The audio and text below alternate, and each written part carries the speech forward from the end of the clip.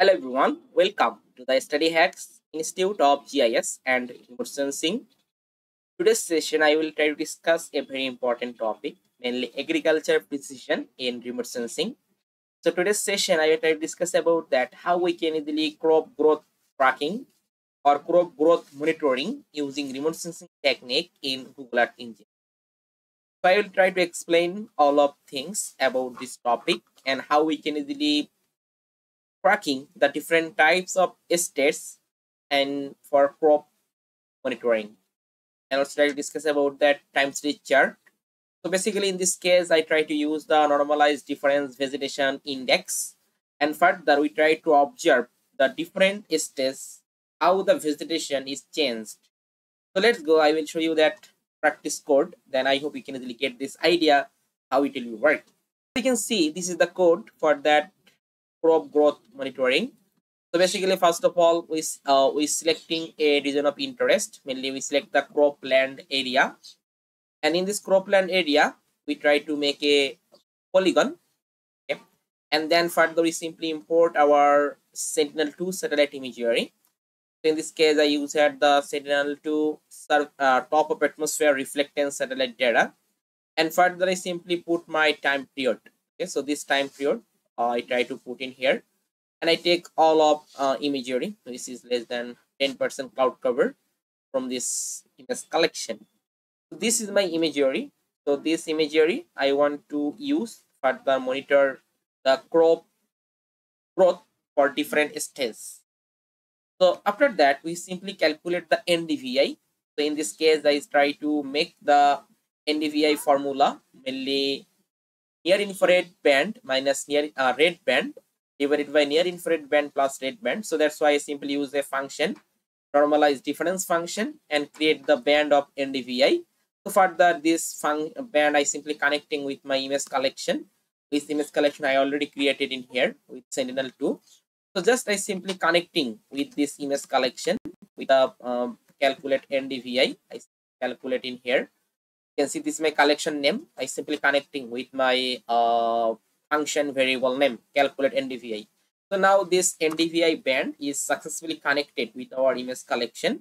So now if i just simply check the time series chart for this uh, ndvi for this given time period so then i can get this type of time series chart. So here you can see this is the time series chart so from the chart, we can get this earliest test. So basically, this is the earliest test. Basically, it's a uh, mainly plantation test. Then we also get about that uh, growing season. So basically, in the growing season, we find out that high NDVI value. You can see about the growing season. And then we also get the uh, late season, mainly it's a harvesting time. We find out the low NDVI value. So basically, this is the way we can easily tracking our cropland growth and we can easily identify how what the status about that cropland here you can see basically in the first step uh, it's a early stage or it also called about the plantation stage. So just we find out the plantation stage. Suppose here you can see the uh, 3rd february from 15 march okay? After that it also increasing the growing season. We find out that this type of value we can see we can get the high NDVI value between this time period increasing and at the harvesting time it also increase uh, decreasing NDVI value. So here you can see you can get it May to you can get that May to you can see the June. So this time period. So basically this uh, time stage will be different for the different uh, country base. So in this case I try to focus on Bangladesh study area. So for that we are just simply uh, displaying this type of early season or mid season or late season. Okay, so basically early season is the plantation season mid season is the growing season and late season is that harvesting season we consider in this time.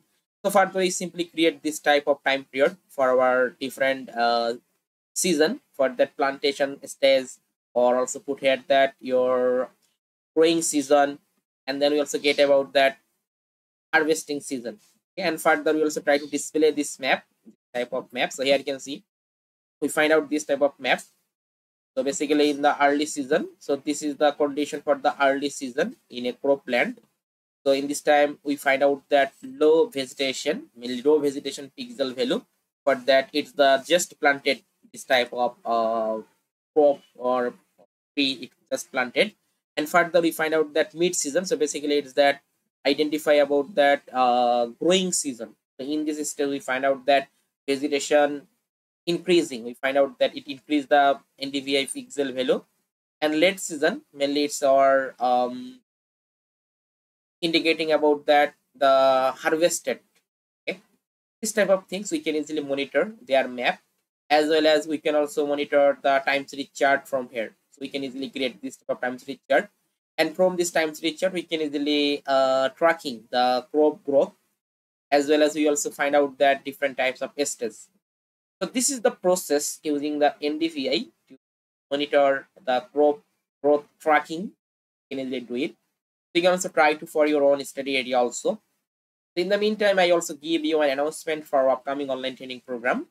So basically, if you want to learn the complete online training on Google Earth Engine for remote sensing and GIS analysis for beginners to advanced level. So our next training program will be start from 20 September. So now this registration is the open. If you want to join this online training program, simply you can contact in our WhatsApp number and also contact with this email so I already give all of information in the video description as well as if you want, you can also contact, um, you can easily get all of information from this website also. So here you can see all of details for our upcoming online training program, all of course content you can easily find out.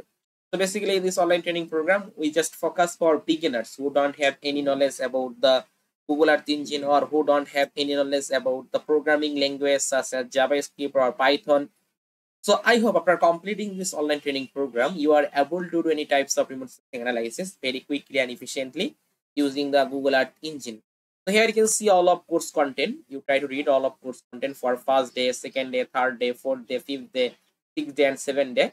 So basically, these are our three hours live training program and one hours for the problem solving class. Okay, so basically each day you get total four hours. So three hours for mainly live training and one hours for the problem solving. And when you want to join this live training program, you can get some benefits such as you can get that course e-certificate after submitting all of assignment, as well as you also get all of materials, mainly slide or PDF. You can get all of practice code. So you can easily practice using all of practice code. And you can get the recorded class. Suppose if you miss any live training program, then you can easily cover using this recorded class as well as you also get the lifetime teaching support. So basically as a beginners, when you want to learn the Google Earth Engine platform, you face a lot of problem. So that's why we are also providing the lifetime teaching support. So after completing this total seven days online training program, when you face any problem regarding any issue in remote sensing or any issue in your code, you can get the lifetime support. Okay? So if you want to join this online training program you can simply contact in this whatsapp number as well as also contact in this email. And then further book your seat. And if you want to get the 50 percent discount on this online training program so as soon as possible book your seat and join our google classroom and whatsapp group. So today is no more. Thank you for watching that. Stay happy. Stay safe